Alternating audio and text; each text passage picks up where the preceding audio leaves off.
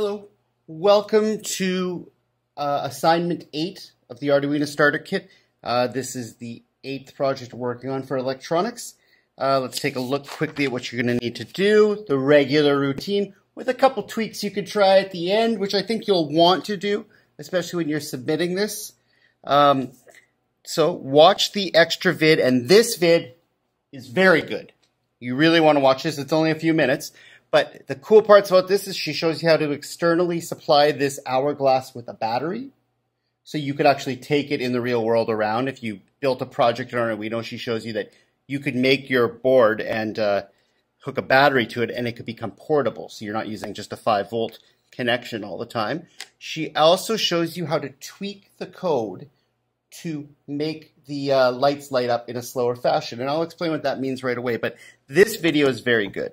So first of all, watch the extra video and read the project and go through everything you're going to be doing. What you're going to be doing is making a timer that lights up every 10 minutes a new light. And it starts with this sensor at the top. Because in an hourglass, if you have an hourglass, you tilt it and the sand starts flowing. Well, in this one, we have a tilt sensor and you flip it and you can hear a ball inside click. And what that is, is there's two pieces of wire and when you tilt it, the ball the metal ball inside the sensor connects it and it starts the circuit. And that's when the timer starts. Just like if you flipped an hourglass. So there's a little ball. You can hear that. And if you flip it, we have told the timer to start. And every 10 minutes, these will light up. Now, we will tweak it a bit. Well, I did on this, and you can too. Um, and she shows you how to do that too, how to tweak the code to make it light up in different ways. I added a fancy little flash at the end. But uh, read the project, wire the board and submit a picture of that, verify the code and submit a picture of that, upload and prove it works. However we are doing that, if we're conferencing, if we're doing it in person, um, if you're sending me a video of it proving that it works, and please modify the code for that. If you can't modify the code or you're having problems, I can send you my code after you've verified yours, and you can upload my uh, fancy code to uh, make the process quicker so it's a very short video that you're submitting if you need to submit a video to prove that it works once you've showed me that you can verify your own code and I want to look at that code. Uh, and then work on questions for project 8. Here we go. Explain uh, how we have traditionally done time performances on the Arduino in the past and how we do them in this project. Why is this new method better? Explain the millis function in real terms. What is a milli? convert millis for a day, a minute, an hour, a second, a year, a week, and those kinds of things. Um, what is the difference in using millis in a 16-bit number versus a 32-bit number? And that's all on the first couple pages of the project book. And explain the switch used in this project and what is unique about it. And that's the tilt sensor switch. And you can explain how it's made and what it does. If done correctly, how should the digital hourglass perform? What should it do? All right, so you do the questions, and at the end, try the fun tweaks. If you have a battery and you can follow the clips like she says in there, try and hook this up to a battery at the end and see if you can make it work. Also, try and change the code so you could light it up maybe every second. How would you do that? You're going to have to go in and do a little manipulation. Prove to me that you can change it. I changed mine, and I can even send you my code once you verify to look at what I've done and look at how things have been changed a little bit to make it a little different project. So there is the digital hourglass. Now let's do a little bit of talking here first.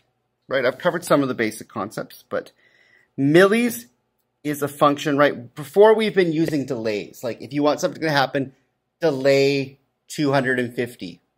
And that'll be a quarter of a second delay. Or delay 500, that'd be a half a second delay. Right? Up till now, you're being doing things using a delay. It's handy, but it's handy, but it's confining. When an Arduino calls a delay, it freezes the current state for the duration of the delay. That means there can be no other input or output while it's waiting. Delays are also not very helpful for keeping track of time. If you wanted to do something every 10 seconds, having a 10 second delay would be fairly cumbersome. The millis function helps solve these problems. It keeps track of time when your Arduino has been running in milliseconds. You used it previously in Project 6 when you created a timer for calibration. So far, you've been declaring variables as an integer. An integer is a 16-bit number, and it can hold from minus 32,000 to plus 32,000. Those are big numbers, but if you're counting milliseconds, which is a thousand, a thousand milliseconds in one second, you'd run out of space in less than a minute. The long data type, which is what we're going to use, we're going to use something called unsigned long in our code and long data types right there, right? So that this means, using the long means uh, when a data type is called unsigned, oh, sorry, the long data type holds a 32-bit number. So that's going to be 2,147,483,648 to plus that same amount. But since you can't run time backwards, you can use unsigned long, which means it's only positive. That doubles the amount and lets you have 4,294,967,295. That's enough space in millis to store about 50 days worth of time. Uh, by comparing the current amount of millis counted to a specific time when you flip the switch in our code, you can make things go on in increments. So I'll kind of move on from there. Um, the book's very useful here. This is the cool part about this. And the diagram doesn't do a good job of showing how that switch is connected. In my connection, I have connected it like that. You can see there. So be careful with that. If you're not watching this, you're going to be in trouble. So I use those four pins and I put them right there like that. And there's a thing that says facing up that way. That's how I've connected this. All right. And we can go in through the code. We're going to use current time and then we're going to use millis to do different things in our code. And I want you to see if you can go in there and where you would change the numbers. If you can't figure it out, that's not that big of a deal. But I think most of you will if you're uh, studious about it. And remember, we're in no rush in this class. And uh, that's the basics. So let's take a look at how this project will work. I'll give you a demonstration of it, that it works. I will plug it in. It will initialize. I will Oh, sorry. There we go. I will, you can hear it, flip it, and now I have changed my code. Let's take a look. This is exciting. One. And then a few seconds later, about five seconds. Oh, two, three. I got it. Yes. Four. And then I put something fancy at the end here. Let's take a look. Coming up five, and when it's complete, bum, bum, bum, and then it stays on. And if I do that, it shuts off and it starts again from scratch, from current time. Uh, there's my code, and I, I did some changes, right? I did some stuff, and I can share this code with you later if you want. Not a problem. Just a little bit of tweaking. I called it fancy. This is another good thing. You probably run into this problem, but if you're using different Chromebooks or different books to find your code, sometimes your recent codes aren't here. But if you search for the word or the name, if you named your sketches properly, what they are, right? So you should always name your sketch what the project is. You can search by name and it'll still show up and you can upload it to your board. So that's the biggest thing there.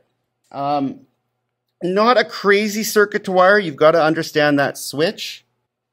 All right, so let's take a look at what you need to be doing here, right? Watch the extra vid, very good with the two extra challenges, changing the time and connecting a 9 volt. Read project 8, wire the board, verify the code, upload and prove it works. Work on the questions for project 8. I will help you with this for a second. And bonus, try the fun tweaks mentioned in the video that I showed you up there, adding 9 volt. So let's talk about millis. So in one second, there's a thousand millis. So in a minute, there would be one minute. How many seconds are a minute? 60. So there'd be 60,000 millis in one minute. Now you'd have to times there's 60 minutes in an hour, so you'd have to times that by six. Whatever you got for one hour, if you wanted to find a day, you would obviously times by 24. If you wanted it by a week, you could go, you could do the days times seven, or if you wanted a year, you could do the amount that you come up with days times it by 365, and that's how you would calculate these things. Um, you're going to need to do that on a test too, so be ready for that. We've got a test coming up right away. I'm going to give you a little review assignment, uh, making some questions and stuff coming up right away. So we will see you soon. Thank you.